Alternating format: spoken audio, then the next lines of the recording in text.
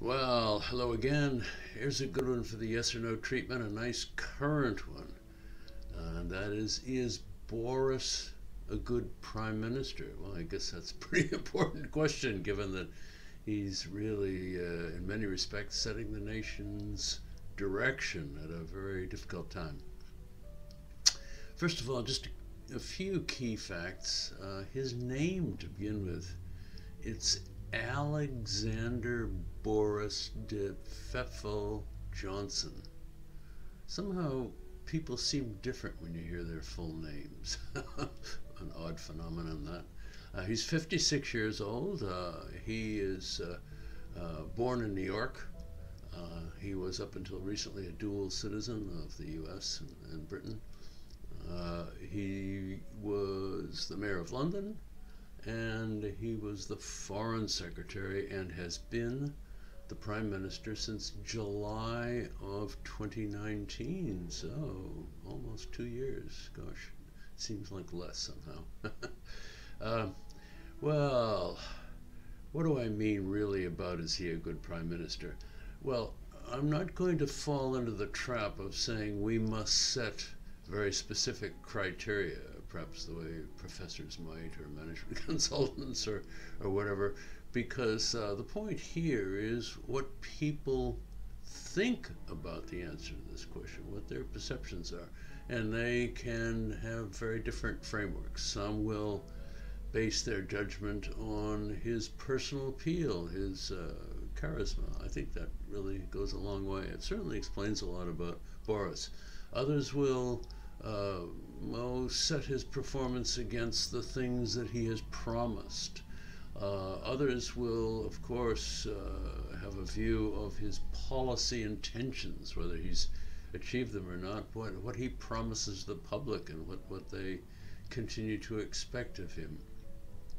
Um, and perhaps even uh, his skills as a uh, national leader, as a manager, and so forth. So there's a lot of different ways you can judge whether it's a he's a good uh, prime minister. It's really up to you and to those who will take a view on the yes or no uh, components of this question. So let's get right to it. Uh, what about those who say, yes, Boris is a good prime minister? Here, here are some of their reasons. First of all, uh, Boris uh, did win a uh, national election by the largest majority for any Tory incumbent since 1987. Now, that means a lot. What that says is that the nation wanted him. Uh, and of course, the uh, parliamentary uh, Tory party, the MPs that selected him, uh, that's uh, the ultimate, the ultimate compliment. Uh, MPs, congressmen, elected officials everywhere in the world care about one thing and one thing only above everything else, and that's getting reelected. So uh, Boris did a good job for them, uh, and uh, they'll not forget that. the second thing is Boris delivered Brexit after uh, some fumbling around by his predecessor. Now, of course, if you are a, a, a Remainer, you won't think of that as a, uh, reason to say he's a good prime minister, but but uh, for those who uh, wanted Britain to leave the EU, uh, indeed, that was a great accomplishment. It was something he promised he would do. Uh, now, there's a little bit of a mm, kind of footnote to this, which is that the whole uh, negotiation about the details seems to be rumbling on forever. I mean, the, the fishermen are, are, protected, or they're not protected, are the French fishing boats here? Are we going to sink them, or are they aggrieved and being kept out? You know, all of these things just seem to go on and on and on. But nonetheless, uh, he got the referendum passed. Uh, he signed the deal. Uh, in effect, uh, Britain is out. So for many people, that's that's a huge, a huge accomplishment. Uh, next, uh, no small matter is that uh, unlike uh, President Trump, for instance, uh, Boris does defer to experts. He he recognizes that he can't be on top of uh, complicated questions all by himself, especially scientific ones. And as we've seen in his policy briefings, he has no compunction about saying, well, I'll have uh, Mr. Uh, Bloggs or, or, Mr. Jones here explain that to you because because I don't uh, I don't know what the answer is. Going to give him some credit for that. Uh, next, he, he does have relevant experience. He's not only been a, a, a key member of the cabinet and, and uh, uh, been involved in government at the highest levels, but as mayor of London, he actually had administrative executive experience. Uh, some would say he did or didn't do a very good job of that, but but uh, let us not forget he was re-elected as the mayor of London, so the experience is there. Uh, next, uh, Boris is articulate. He's able to communicate well. He he's a debater, uh, so he knows how to express himself, and uh, I suppose most people that get the job are pretty good at that, but I, I think he's better than most. Now, of course, uh, some would say, oh, I don't believe anything he says, but nonetheless, he communicates it clearly. And then finally, I suppose, for many people who think he's a good prime minister, their simple reason for saying that is he's a Tory. What more do we have to say? The alternative is unthinkable. Uh, so there you have it. There's the, there's the case for the fact that he's a good prime minister. Well, of course, as we all know, there are some who say he's not a good prime minister. Oh dear. Uh, let's examine some of those arguments. Well, I guess at the very head of the list is the belief that he did make a mess of the coronavirus confrontation. He delayed too long. He was too kind of relaxed about imposing uh, draconian restrictions on, on the populace, and as a consequence, it got going much too fast. We've, we've had, uh, in many respects, um, you know, higher incidence of, of infection and death than, than many other countries, and uh, that really, for many people, that has to be laid at, at Boris's doorstep. Now, of course, once uh, getting going, he seems to have uh, done a pretty good job of it. The uh, uh, vaccination program, compared to most other countries, has been a big success.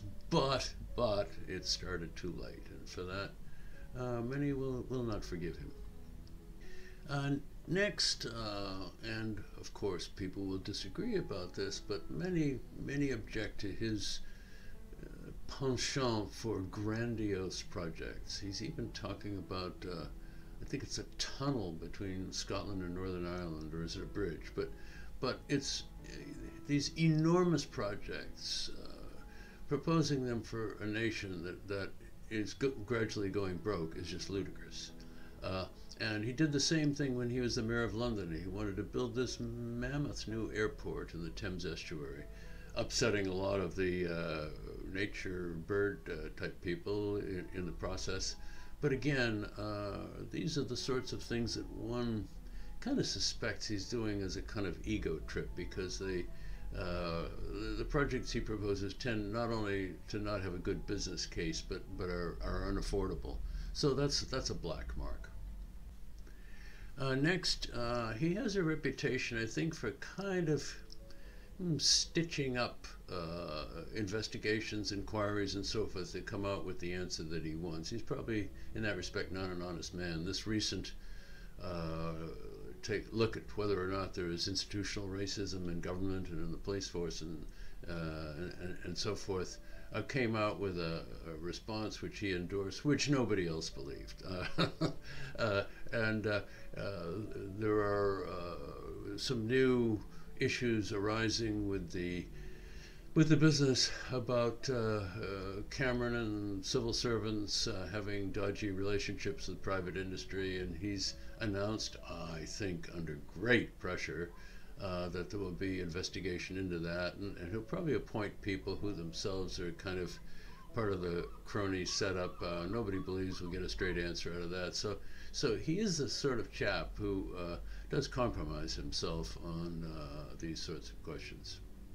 Next, another uh, real black mark uh, in the eyes of the public, in the eyes of many, has been his stinginess on offering the NHS employees, and most notably the nurses, who were the big heroes of, of the COVID uh, virus situation, uh, a stingy pay, a pay award of 1%.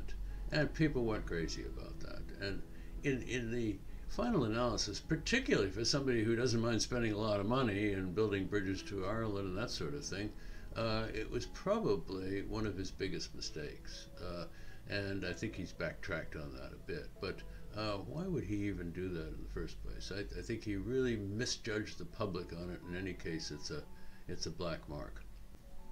From his time as mayor of London uh, up until the present, uh, his reputation as a manager is not good. It's uh, he has the image of being chaotic, uh, uninterested in detail, uh, letting things uh, run on too long, which may be uh, why he uh, made a mess of the early days of the treatment of the coronavirus. So one can ask some questions about whether, as a manager, which is pretty important. Uh, set of characteristics for the for the leader of the nation that that he has some way to go. Uh, next, he has some um, kind of unpleasant kind of uh, personality quirks. Uh, some would say he's uh, he's uh, misogynistic. Uh, some would say he's racist. he's perhaps even more important snob. he is, and this is almost a disqualifier, disqualifier in the eyes of some. He's privileged. He was a member of Bullingdon Club at uh, Oxford, uh, only for the very posh, privileged, entitled people, etc., etc. And you know, the, the, these personal characteristics uh, uh, for many are, are, are, are pretty dreadful, really. And then finally, on top of everything else, one can ask questions about his prospects. Some say that he has not really recovered fully from his bout with the coronavirus. Uh, even though he's taken off weight, uh, probably at Carrie's insistence or maybe that of his cardiologist, uh, he is mm, he, he, still doesn't look tip top, and and uh, so for that we have to worry about whether he can continue to be any kind of prime minister uh, uh, indefinitely, and and then whether or not he will have to be replaced. Well, that's a fairly long list of uh, kind of worrying arguments about whether or not he's a good prime minister. Uh, you'll probably wonder what my take is. Well, well, here it is. I'm afraid. I think he is a kind of a grandstander, a bit of a narcissist, a bit of a bully, and uh, to be honest, I don't really believe anything he says. Uh, it's awful to say that, but but that's the way I come out. Um, he's uh, really untrustworthy, uh, and uh, so uh, he is our prime minister. Hopefully, he can do the job reasonably well. But but if I were given the choice, I would prefer someone else, even the current the current Labour Party leader, and so that's really, uh, uh, for many people out there, I imagine you'll be disappointed to hear my view, but it's a firm one. Sorry about that, uh, and I will uh, hope that you, uh, in any case, uh, give me a like, the usual stuff, comment, subscribe, notify, and so forth, and I'll see you at the next one. Thanks a lot. Bye bye.